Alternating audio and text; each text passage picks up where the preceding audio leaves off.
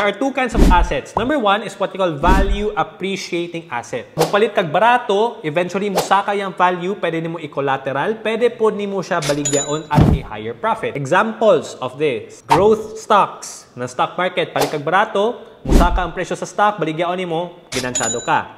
Crypto, mo ang Bitcoin, Ethereum, Solana, Polkadot. Property, palit kag yuta, kanong barato siya, eventually musaka yung val musaka yung value. Very good example dyan akong ginagamit ani is ang North Crest. Nakapalit akong kuya diha sa una 2008 or 2009, 5,000 pesos per square meter. Ang value karon sa North Crest is nasa 20,000 to 25,000 per square meter. That's a growth of 500%.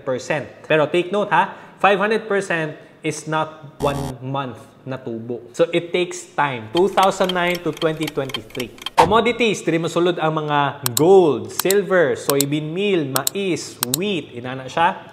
And forex. Ana mga palit ka mga Japanese yen, i-convert nimo or kaya palit kag US dollar, palit kag mga euro. Second type of asset which is ako ang gusto kay income producing asset. Mo ni siya ang investment na butangon nimong kwarta nimo, imuhang principal is pwede siya motubo or kaya fix siya, guaranteed na mabalik sa imuha at the same time naa kay madawat na interest or dividendo. Samtang i-invest nimo ang imuhang kwarta naa kay kwarta madawat. Ang value appreciating asset magod ma-realize lang nimo ang kwarta pag imong ibaligya. Mo na ginatawag na term na unrealized profit and loss na po tayo ginatawag na realized profit and loss. Sa examples ani, dividend stocks. Palit kag kitahay Meralco, PLDT, Globe, Sedpac, GMA, ana. Mo ni sila ang mga example sa mga stocks na pagpalito nimo, pwede mo saka, pwede mo naog imong investment, pero samtang you hold the asset, you own shares of the company, na kay madawat na dividendo.